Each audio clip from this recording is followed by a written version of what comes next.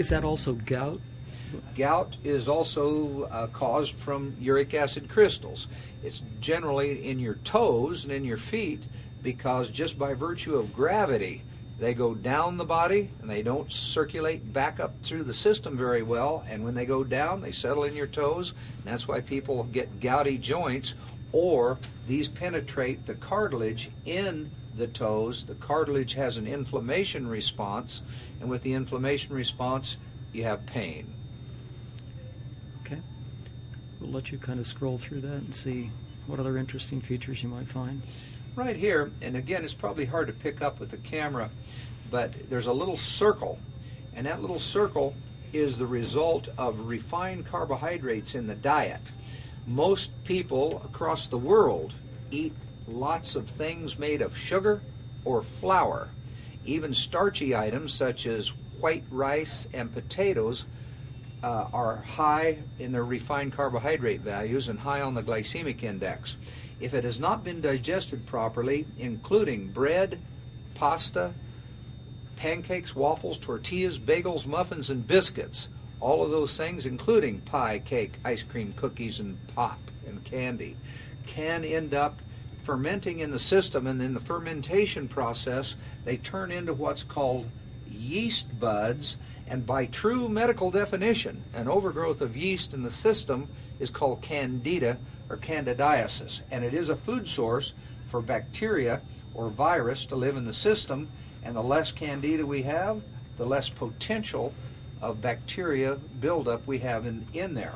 And again, if the camera's picking it up, I'm focusing in and out because there's a little dance of, ref, of uh, friendly flora or friendly bacteria in the membrane of that yeast bud trying to catabolize it. And the term in science, catabolism, simply means it's trying to eat it up and get rid of it.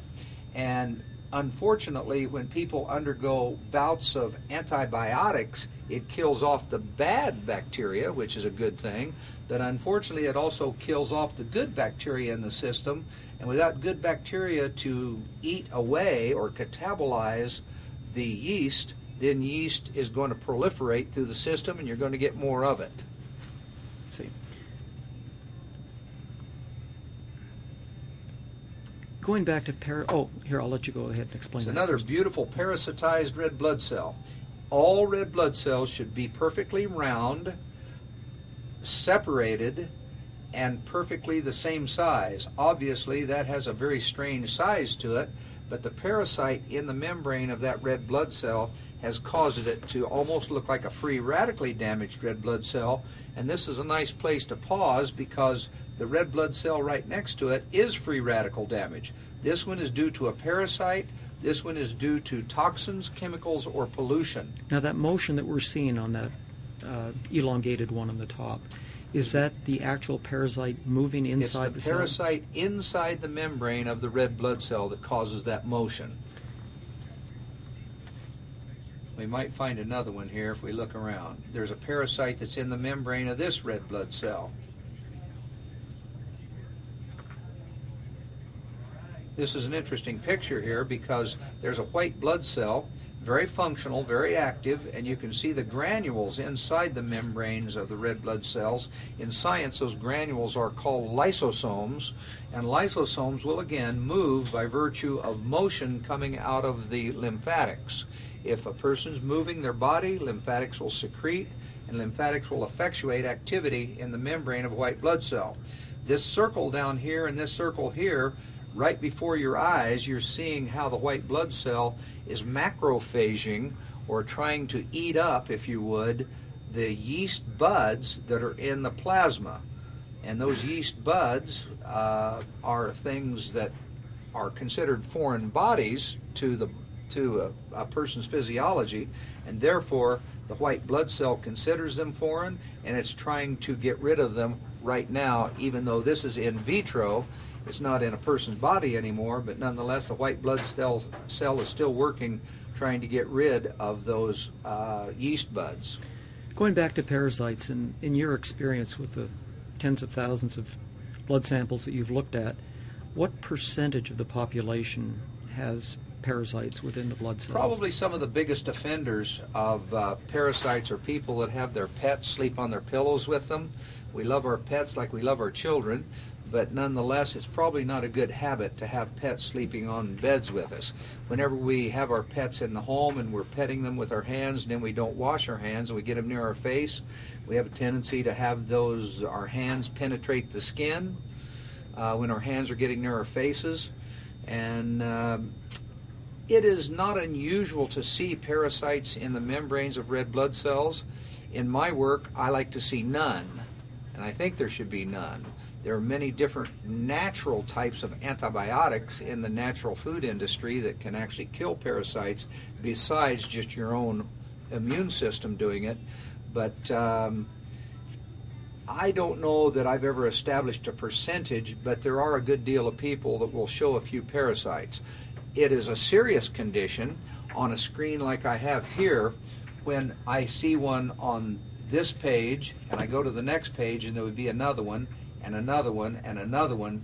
They get so numerous that the ratio of them starts to take over the red blood cells. And again, looking at this right here, this would be a parasite that is uh, actually destroying the membrane of that red blood cell. As I go from page to page, I'm seeing some of the free radical damage, not to be confused with parasites and not to be confused uh, that it's not caused by the same thing. And by the way, I mentioned some of the white blood cells a while ago that were moving. These white blood cells that look like this are in a different classification altogether. They are white blood cells, but they're called lymphocytes. And that particular one is called a T lymphocyte, which is responsible to fight virus. They've also found those to be the cancer fighters also.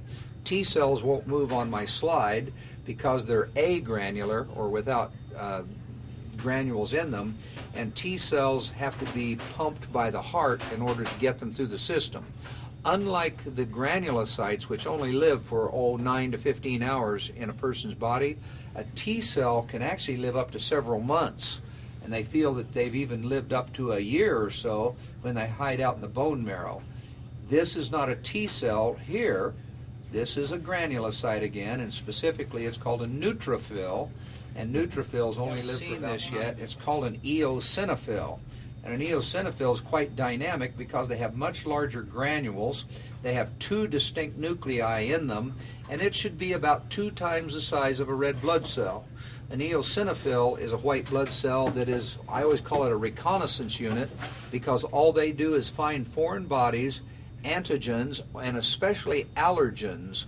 People that have allergies will have high numbers of eosinophils in their system that they can pick out in a lab test and actually count them.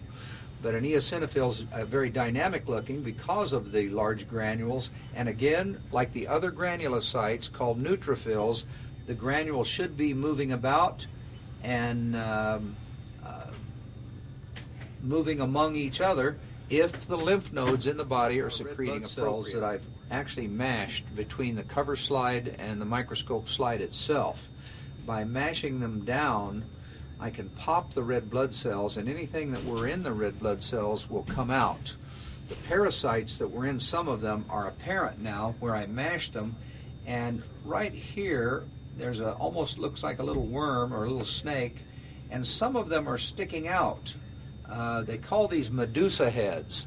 These red blood cells are kind of in their last uh, little bit of life at this point, but you can see all the little parasites hanging out of the red blood cells. It looks a little distasteful, but nonetheless, that's what hides out in many people's red blood cells that we try to get killed off.